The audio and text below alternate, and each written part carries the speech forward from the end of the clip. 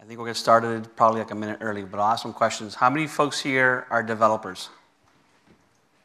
How many folks here are management? How many are DevOps people? How many are other? All right, okay. So uh, when we get to the presentation today, I'm going to be, I'm going to play all three hats because I have been a DevOps, I've been the network guy, I've been a developer, and now I'm the boss right? So I'll give you all three views, and uh, some things I'll say will be controversial.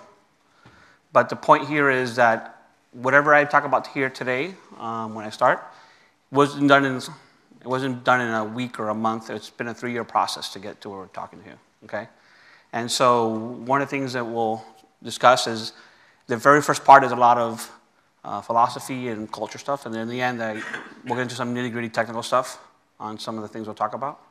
And I'll talk a little bit about the new Docker plugins from Jenkins today also. I think I guess we can start, right? Can we start? Okay. So I'm Mario Cruz. Um, I'm a big CloudBees and Jenkins fanboy. Um, the good thing today is I'm not selling anything but how awesome Jenkins is, right? So that's pretty simple, right? And you guys are here for that. Um, I have had a lot of jobs in my career. I've been a network engineer, I've been a developer, I've been in IT ops, I've been a CSO. I have experience with hacking, networking, DevOps, and more importantly, now I'm the pointy haired boss in that cartoon. Okay? Um, about five years ago, I built a company called Choose Digital. I was a co founder, and basically, what we built was um, a white label version of iTunes that we ran for um, basically brands. So any, any brand that had points or miles or some sort of currency, you could use those things to, you know, when you change your oil and you got a free music or download or a free movie rental you got a pizza, we were the engine behind that, right? And the reason we built this, this sort of platform was to allow the brands to own the users versus iTunes and Amazon, they own the user, right? They want the marketing data about you, they want all that stuff. I built a company over five years and I sold it about a year ago. Uh, we had an exit, so I now work for Viggle. Viggle now owns Choose Digital and owns me. The agenda today is going to be pretty simple. No ops, the snake oil that I'm installing today. Jenkins, the glue that holds all this together. Um, I will talk about Docker a lot. Um, I will talk about Beanstalk on Amazon. I will talk about immutable uh, infrastructure. Uh, how many people know what immutable infrastructure is in this room? Okay, cool. And then I will talk about the most important thing is you have to monitor everything, right? And then some learnings that I've learned just in the last four days here, right? Since last Friday's uh, announcement of the Docker plugins from Jenkins to things that I've learned just on some things that I learned yesterday. I've updated my presentation real time the last three days. Um, some of the things that Mark covered this morning, I actually ripped out of my slides because I'm not going to uh, discuss some of the things because he covered it pretty well. But the most important idea for us is to get an idea to code to production, right, in a small time to value ratio. And so what happens in most companies is this starts very, very slow at first, right? Um, if you have monolithic apps, if you're not doing DevOps yet, if you have some sort of mixture of apps where you're doing half enterprise, half green screens, like you saw uh, KK talk about those plugins, it doesn't matter what you do, it's how do you start moving that forward. And one of the things that I've learned over the last few days is people have um, not discussed the communication process, right? The communication process is the secret sauce to being successful in any organizations. You saw discussed this morning uh, about Deming and Bruce Lee. But there was a quote from 1968 from Melvin Conway, which I'm sure some of the guys in this room have probably heard, is your organization's development process mirrors the organization's communication process, right? If your organization is product heavy, the product team is disjointed, that's how your applications are disjointed, right? You have different apps, you have things that don't talk to each other. So one of the big things that you have to get um, to be successful is break those communication barriers. And we'll, I hear this a lot, right? That you know, I, I, hate the silo pictures and break down the silos. You know, I, I, I think silos are good if the team in that silo is built very well, right? And the common goal of that silo is the common goal for everybody. Um, I'll talk about it later, but Pixar, right? The way Pixar makes movies is they put a team together, and that team makes movies together constantly. That's why they make very successful movies consistently. Where in a movie production, they put people together, they make a movie, by the end of the movie, those team is disbanded, right? Most of the team within uh, Pixar stays together through movie through movie. That's why the movies get better, the communication gets better. It's still a team, it's still a silo for that movie, but they know the overarching goal for Pixar and the, they know the overarching goal of the movie. The next thing about no ops, it's, it's not the, the elimination of ops, right? It's the elimination of all the manual handoffs, all the rote work, all the work that's constantly kills you, right? So, how many people in this room do the same thing over and over every day? Right? So, how many people have read the Phoenix Project? So, okay, so there's something called technical debt, right? If I need you to do something for me, but you're constantly doing all this manual, what I'll call bullshit, right? You'll never get to the good stuff because you're always working on the manual bullshit. And the manual bullshit becomes six hours of your day and leaves very little time to do the real work, right? So when people ask me, how do you get DevOps started? Start limiting all that technical debt, right? Start limiting all the things that could be automated. So automation is going to be your savior, right? Because what happens is if you don't automate it, somebody else will, and they'll automate you out of a job. You have two choices, right? And people are scared of automation because they think, I'm going to lose my job to automation. Now if you're the guy that writes the automation. Does that make sense? And then no ops for me is an abstraction, right? So what we've done is we've abstracted this whole part of the ops for the developers. So a developer just pushes code to Git, to GitHub actually, and automatically, I call it automatic, automatically, automatically that gets pushed wherever it's, it is, right? We have three branches, right? Dev, stage, and prod. If you push to that branch, it gets deployed immediately. So if you push to prod, it's on you, right? That's, it's that simple. So people tell me, this is, a far, this is a Forrester quote from 2011, right? They were pretty forward thinking back then. That it basically involves this automation piece. Now, I always hear, but I don't understand this. So, how many people actually go into a bank today? How many people go actually into the bank to a teller? See, this whole, nobody in the room raised their hand for a teller, right? So, did we, did we replace the teller's job? No. Bueller, is the microphone on? So, so what happens is we, we took away that part of the teller that was the rote work, right? You don't walk into the teller and tell her, give me my balance, or what's, how much, you know, or give me a withdrawal, or here's a deposit. Either you're doing it online or you're doing it at an ATM machine. That's the same way you have to think about this analogy at your office.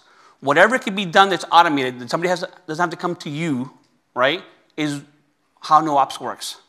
It's, it's getting rid of that technical debt where I don't have to come to you to ask you what the balance of the account is. I don't have to ask you, you know, can I change my name on the account?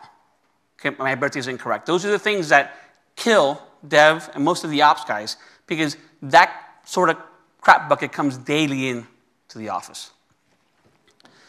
The other thing we, we, the other way you can do this is I think Dockers and containers are the best way.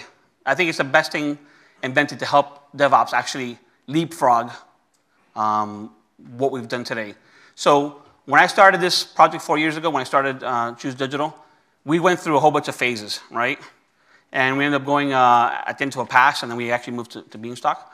But we had no containers, so we had to build all these things on the fly. We, scripted, we scripted all this code, we scripted all these things. But containers today have the magic that what actually runs on your machine is what runs in production. How many people in this room are using Docker today to develop? Okay? Does anybody know what Docker is? Does, does anybody not know what Docker is? Okay. So by doing the container piece, right, you, you have to get away from these machines and VMs, and you're allowed to actually have, we actually can get a developer up and running within this first hour of starting at Choose Digital, right? And that's basically, he gets a brand new machine, he gets a GitHub account, or if he has a GitHub account, we link it to the corporate account. He pulls down the container he wants, now he's up and running, right? All the builds are running there. Now, the way we do that is with, with Jenkins. It's, you know, Jenkins is like cooking with fire. It's one of the most important things that, we, that I want to talk about because one of the things we, that allows you to do is to script everything. Again, when we first started using Jenkins, we, it was just a CI part, right? Then it was a CD part. Now for us, it's the whole enchilada, right?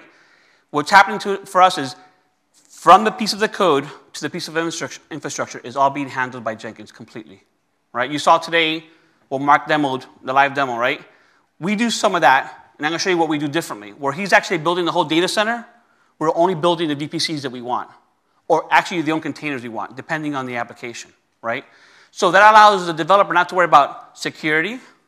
We don't, it doesn't allow the developer to worry about how it's going to work or what's the capacity. All that's being handled by us at an automated level. All he has to worry about is delivering good code and to deliver the functionality that the product team wants. This is, this is roughly, a, an, you know, this is roughly our flow. So the most important piece to this flow, right, is everybody understands build, unit test, code analysis, validation test, testing, and package and deploy. The piece we do here that's very important to us is the little arrow going up. Um, back to show of hands. How many of you guys use HipChat or Slack? How many use Jira? How many use think that overlaps? Okay. So when people ask me about how is Jira different from Slack or HipChat, I tell people, Jira is when you tell me about the birth, HipChat is when you tell me about the baby, right? It's five pounds, beautiful boy, that's all I care about, right? If I don't know the details, I'm going to go find it in Jira. And so that's important for us, right? Because I want HipChat to be, hey, the build is happening, the build is ready, the build is live. Is the build going live? We had a problem with the build. Where's my build, right? I don't want to have a lot of detail in there. The detail should be at the ticket level so that the guy working on that product understands what the problems are, right? Or what he's doing or what he's thought about, right? It should be him, the product person, having a discussion. What happens in HipChat is if you add that, then you have development by committee. And how much does that suck, right? It sucks. That's where, that's where HipChat and Slack have this issue now. It's um, you're forced and you're sort of um, you're bullied into doing things, right? So I keep HipChat about what's important the gory details are always in Jira. The next piece is we have these little, you see the little check marks are called auto there. Most of our apps are called auto deployed. So the checkmark is set to auto deploy, the app goes into those environments automatically. Where you see a manual piece, right, we're using uh, the, the Jenkins workflow tool to allow the product team to hit the final approval. So they're doing that actual push, right? We've put that responsibility on that product person. Are you happy with that site? Are you happy with how it looks on stage? You push the button and it's deployed immediately, right? Our goal is to try to move everything to that, to, back to the product team, right? If you make them part of the process, you make them part of the team, that's what's important. The other piece here is when we actually build functionality, we, we take what we, you know, this is, this is a, the Amazon uh, sort of uh, way, is the product team writes either a press release or a one page white paper of what this thing's supposed to do. Not how to do it, not what the business rules are.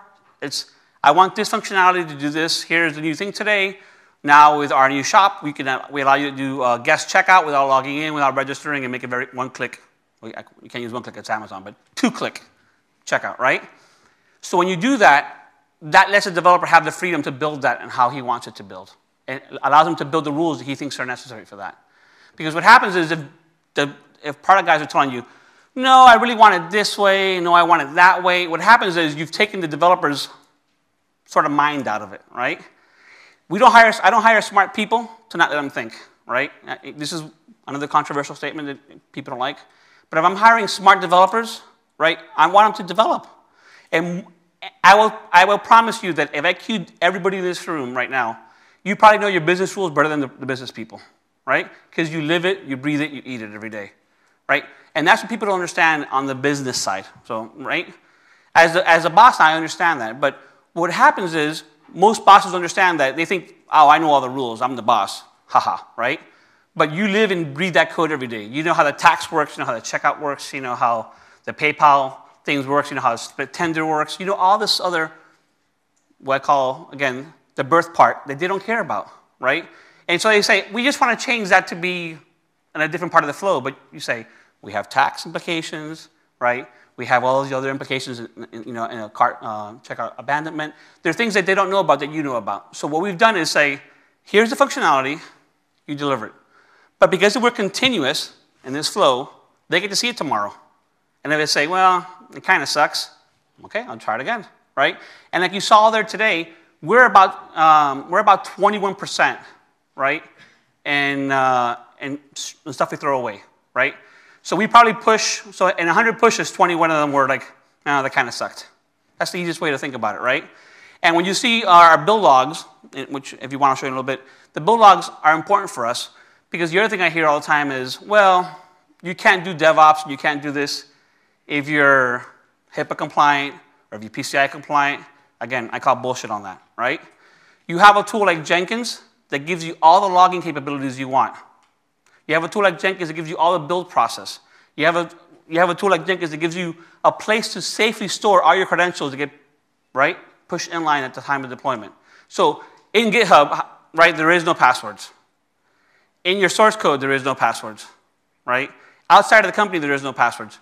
You have all the controls and testing inside the system. So when the auditor comes and say, I want to see this transaction flow, you can say, here's the date, here's the transaction flow, here's the whole process. Then I was going to talk about, about this awesome thing I wrote, right, um, about six months ago to actually deploy Docker awesomely to, to ops and to Beanstalk and using ops code. And all that got squashed on Friday, right? So on Friday, I'm, uh, CloudBees announced six new plugins that will actually replace everything I've done. And the reason I'm willing to scrap that is because the other most important piece of this that I want you guys to take away from, if it's not core to your business, you should let somebody else do it, right? That's not core to my business. I'm not going to worry about that plugin anymore. It was core to my business because nobody had that plugin, right? But it's no longer core to my business because KK and Jesse and Mike and all those guys at, at, CloudBees and all the guys in the community are going to be uh, are going to build better plugins than me because that is their job for a living. It's not my job for a living. So I'm going to go back to that in a second. So what we do today is in the pipeline, so I'm going to go the old way first. In the pipeline, after the whole build, we've actually copied the Docker image onto S3 and then use the Beanstalk deployer from Jenkins to deploy it to Beanstalk, right? That's going to be a one-click deploy now from Jenkins directly into Beanstalk with traceability of, of the Docker machine and all that things inside Jenkins. So I don't longer have this other logging system. Does that make sense, everybody? Okay.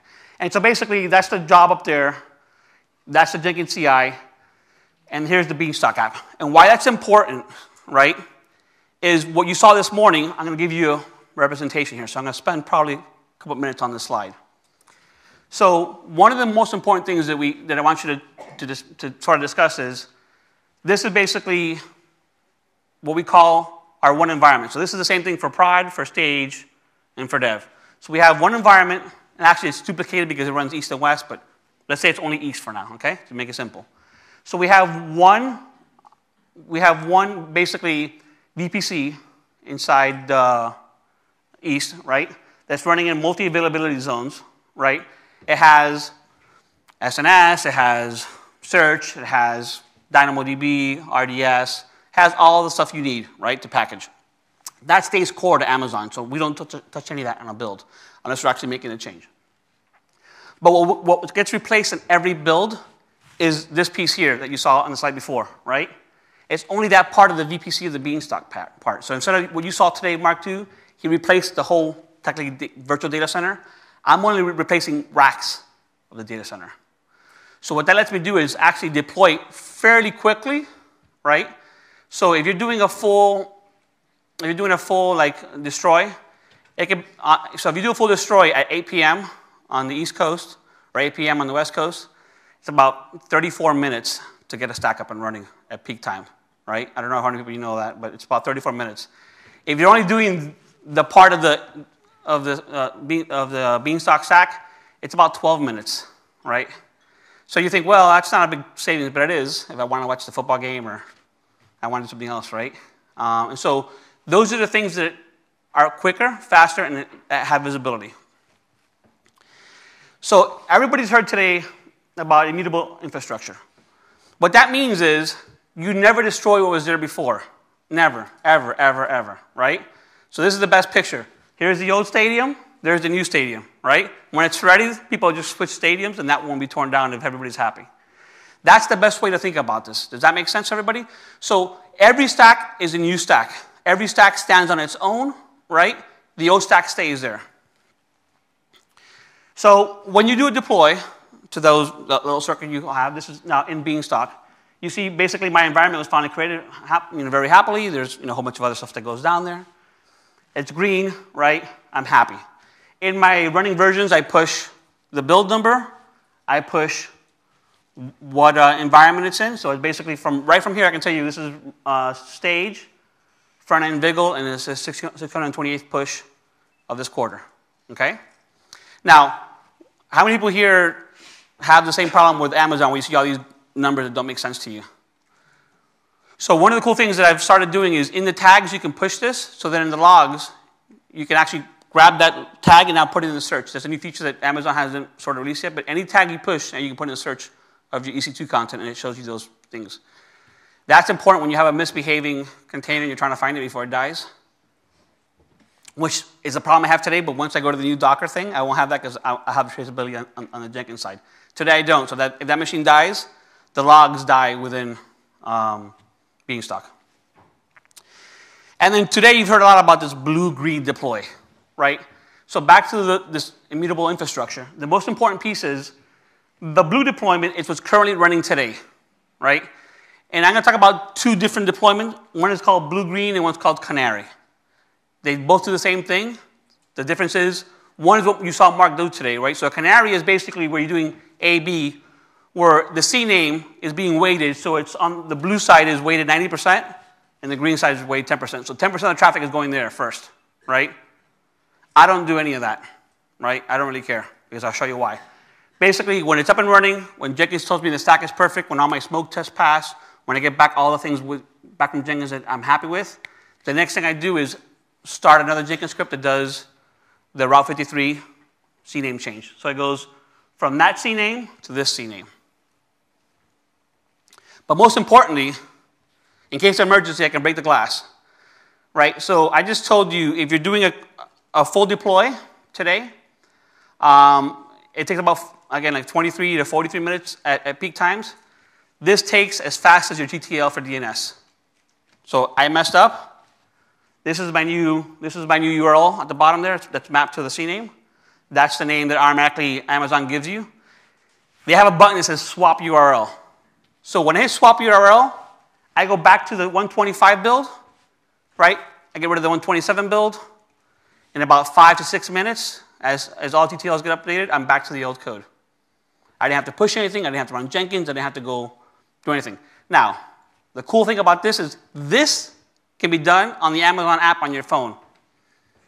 Right? This is, so if you're at dinner, let's say, right, and a build went wrong, and, you know, you're the boss, I could go in there and swap it back. Right? This is pretty cool, right? This is built into Amazon. I didn't, I didn't write any of this. I didn't do any of this. I just took what's there and I'm leveraging that, right? That allows us to say, hey, you know what? The 15th screen of some search is broken, right? And it's important because maybe it's a, it's a screen where we're doing a promotion or something for somebody that's paid us for that promotion. We can swap the URL, go fix it, and deploy again, right? And in about 25 minutes, I will have the new stack up and running again, and now we swap the URLs again. Does this make sense to everybody? Now,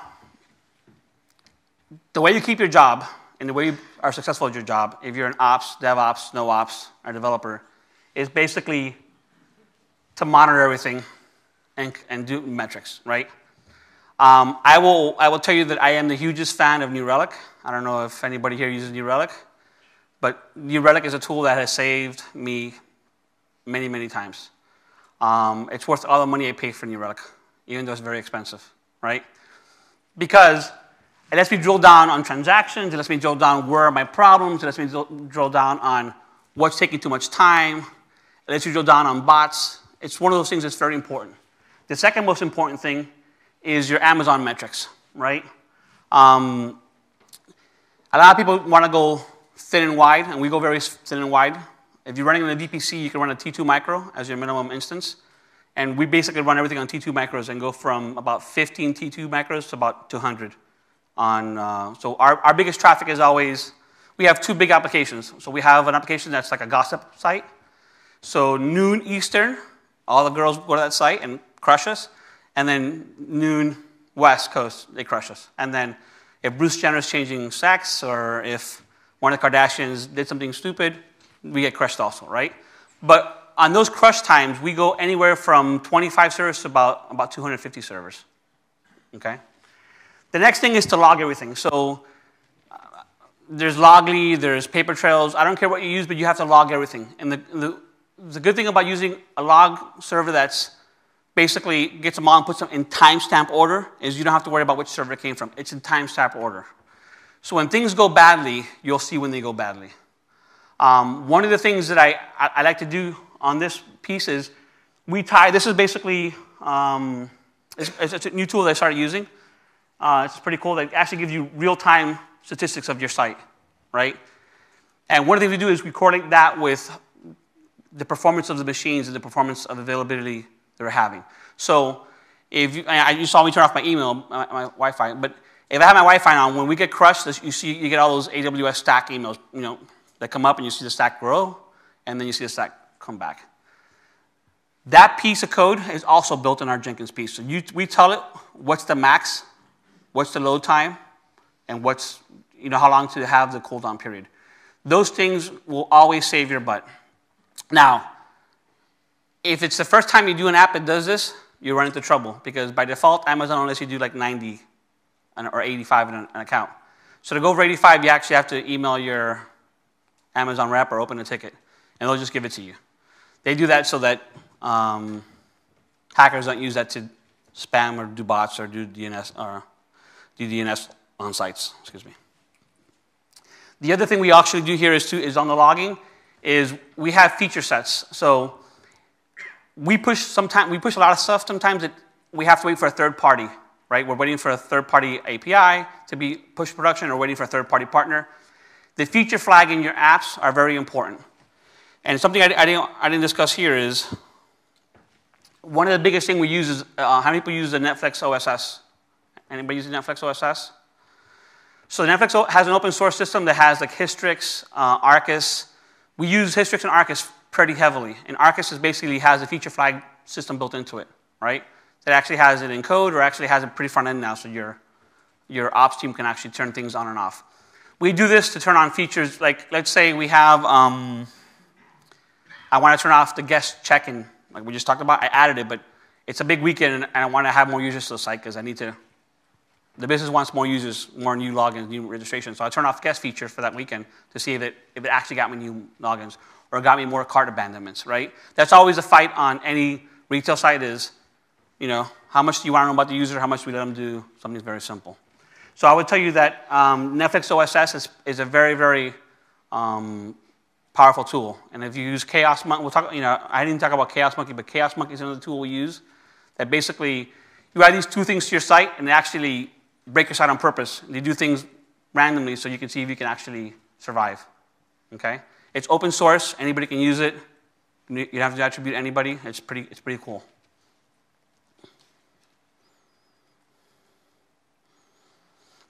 Now, I, was, I did about three, two slides, actually three slides, of how we do this process. One of the, one of the cool things that we saw uh, on Friday um, is that CloudBees, right, came up with these six um, new Docker plugins. And I, did anybody go to KK's talk yesterday about the plugins? So these plugins have the, the two plugins that I'm most interested in, right? is basically there's one that does the traceability and one that does by deploy immediately, right? Those two things will save you lots of time, and all those logs now are in Jenkins. All that data is in Jenkins, which is important. If you if you get audited or you have uh, basically compliance issues, that's you want to have all your build stuff and all your programming and all your security stuff in one place, one repo for the auditor to come back and look at. But basically, what they've done is they let you now grab any image directly in the pipeline, push it to Docker, to Docker registry, right? Automatically now push my code into uh, to Beanstalk, pull that from the Docker registry, and it saves me all this sending stuff to S3, waiting for S3 to finish, doing the callback to S3, having these images on S3, even though it's secure. I don't know if I want that stuff out there. That's, that stuff is pretty cool, right? And so within six weeks, I will move everything, all my plugins to be the new uh, enterprise plugins by CloudBees.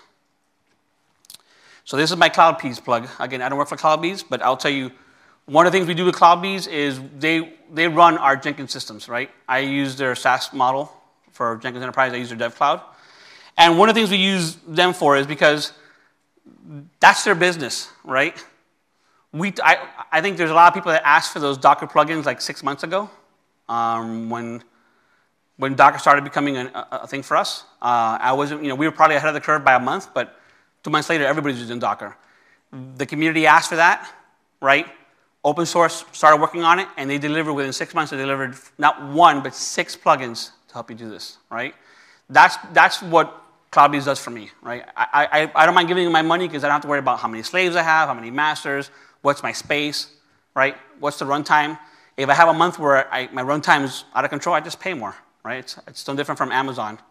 If you're successful and you're getting crushed, nobody's going to blame you if you're paying more. It's when you pay more and you have no, no dollars that people sort of kick your ass about it. Again, the other big piece here is the professional support. and The high, you know, high availability is the other piece. If you lose a master, right, I don't care. It's their problem.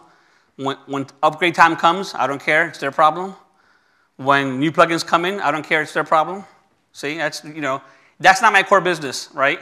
I only do things when I have to do them, but as soon as somebody else does it better than me, I'm going to pay you to do it because I will never be able to do it as good as you. If that's your core business, then, then, than me.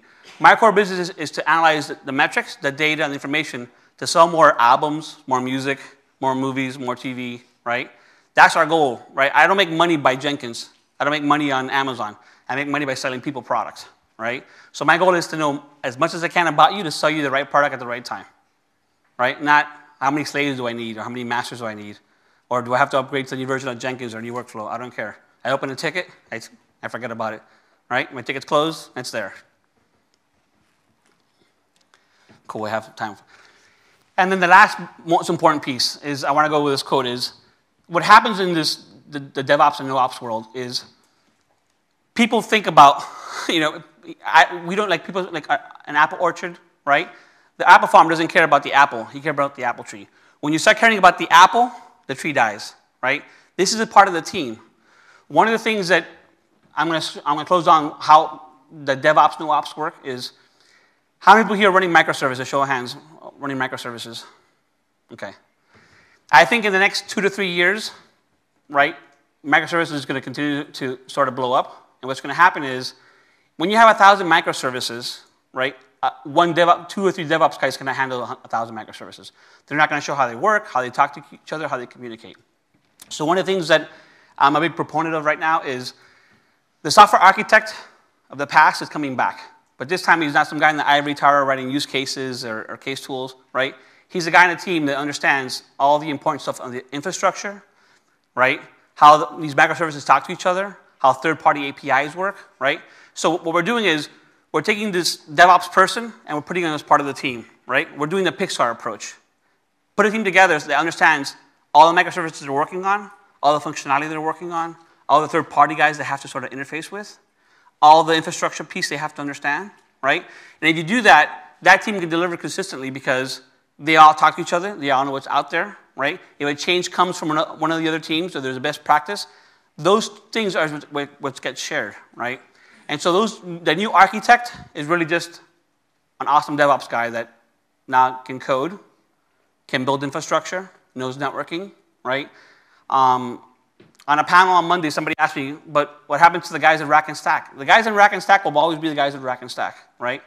The guys in Rack and Stack servers at your data center or at your own office are not really DevOps guys, right? They're just network ops guys, right? This is where people get confused with that role. And those guys aren't being replaced. If you're running Iron at your place or Iron at your data center, somebody's got to rack and stack them. Somebody's got to build networking gear, right? Somebody's got to understand how to patch that stuff. Somebody has to understand all the compliance that goes with that. That's real work, right? And half of that can be automated, unfortunately, right? It can if you go Docker, but not when you have real iron, okay? Um, so I think I'm, that's my last slide. I wanted to leave time for some questions, so you can ask me questions or you can uh, have an early break, but I'm, I'm open for any questions. I have some free you come see me, I have free music cards and free uh, book cards and stuff like that. I'll give you guys out. Uh, if, you're, if you're a European, just enter the White House address and you can get everything but, a movie, okay? You can get music, you can get books, just enter the White House address. Because we only do IP checking when you're streaming a movie. Any questions? I have a question. Uh, you use um, Amazon Install uh, to, to run Docker containers. What, what are your thoughts on So we're running, so right now um, in actually Beanstalk, you can actually run a container service in Beanstalk. Now, Amazon has announced this new container service.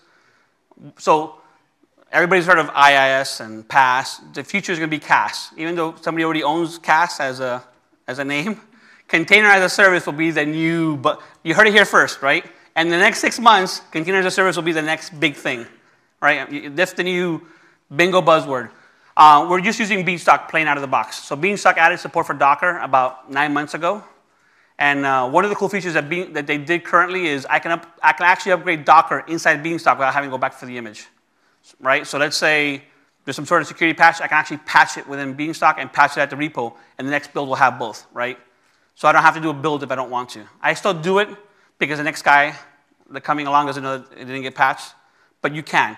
So Beanstalk out of the, uh, Beanstalk out of the box does Docker, PHP, Java, I think WordPress. So those are things. So you, you actually can build a sample app, get it running, and then deploy right to that sample app. So I would tell you guys, Beanstalk is a pretty cool tool. It's a semi-PaaS. You have to worry about all the other stuff yourself. It's a PaaS in the sense that it runs whatever you push there, right? But you still have to build the infrastructure, you still have to build the security. That's on you, right? They're just building the blob, they're running the blob you put. Does that answer your question? Oh, I was just wondering if you had taken a look at ECS yet. Yeah, no, I, we're, we're looking at container services. Uh, that's, we're looking at that a little bit, but only if we're looking at doing some clustering stuff. So I might build a cluster there, right? Where I'm not running an Amazon app. Right now we do everything with Amazon inside uh, RDS and Dynamo, but I'm looking at running like a Hadoop cluster. I might build that there because I'm going to build that using Docker's cluster on EC2 container service. So that's something I'm looking into doing right now. No other questions? Yes. Yeah, and this is regarding one of the slides which talked about switching the URLs uh, in the deploy new build.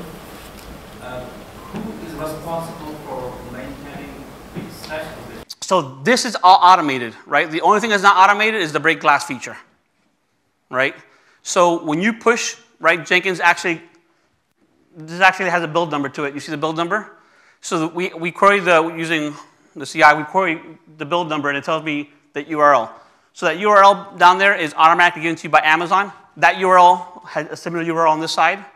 But the moment you apply a CNAME to it, it shows you the CNAME name, right? So my CNAME is, so by default, everything on, on, on Beanstalk says .beanstalk.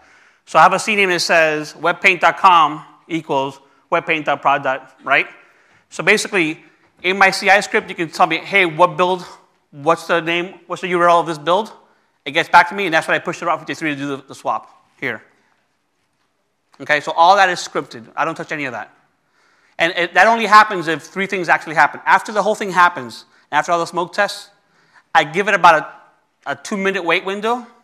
I pull back two URLs. So I have a hidden URL on our site that actually gives me the build number. If the build number matches the Jenkins build number, that's the first pass. The second pass is I have a hidden image on one of the pages. I do a URL type page and make sure it comes back within three seconds, right? And the third one is just basically do a, actually do a search. Uh, I'll show you our app if you want. Do a search on an artist to see if I'm getting back search results. Those three things happen, the swap happens, right? And then the only thing that's not automated in this whole script is the uh-oh button, right? Does that make sense? Um, I will put this up on SlideShare tomorrow. Uh, my SlideShare is Mario Cruz. My Twitter is at Mario Cruz. I will also put it on my Twitter. Um, again, thank you for coming to the conference. I think, you know, this is my third year coming to the Jenkins conference, and it's grown every year. It's doubled, right? Um, the cool thing about this is that you guys, you know, you guys hope things happen, right? Um, none of these ideas are exclusively mine, right? I've learned stuff at these conferences at Jenkins conference. I've learned stuff on some of the webinars. I learned a lot of stuff inside. Uh, so the Jenkins has like a new um, newsletter you can actually join that comes out monthly. It has some pretty good ideas on it, right? And so I tell people, steal, remix, redo, right? Um, nobody cares. The only thing that happens is get the server running, get the product running, make money, right? If you make money, nobody's ever going to fire you for making money. That's what I tell every developer. If you're making money, you'll always have a job. Thank you very much.